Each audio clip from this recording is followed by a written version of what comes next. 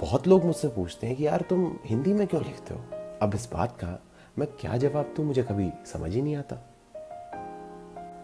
अपने घर पर रोज रात जब फ़ोन पर बात करता हूँ तो मैं हिंदी में बात करता हूँ। और कभी जब बहुत गुस्सा आता है तो पहली गाली भी हिंदी में निकलती है।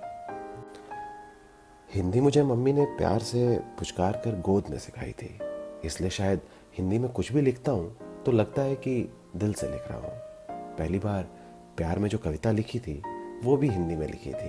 प्यार में पढ़कर, जिस भाषा में हम अपनी पहली कविता लिखते हैं ना, वही हमारी असली भाषा होती है। बाकी सब बस शो ऑफ़ है।